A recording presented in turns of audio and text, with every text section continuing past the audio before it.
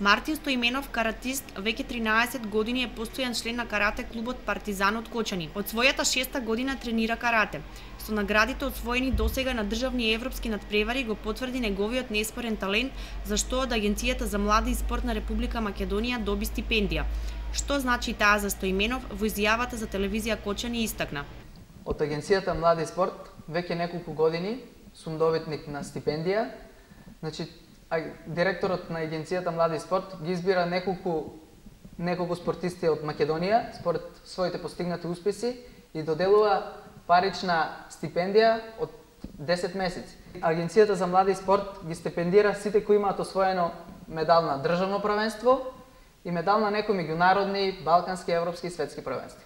Мојата визија за воиднина е сакам да да успеам многу и да освоам некој светски медал и медал на Олимпијада. Стипендијата на младиот кочанчанец Мартин Стоименов, спортски таленти на Македонија, за младиот спортист од Кочани значи можност повеќе за посигурна спортска кариера, тренинзи и унапредување во карате спортот.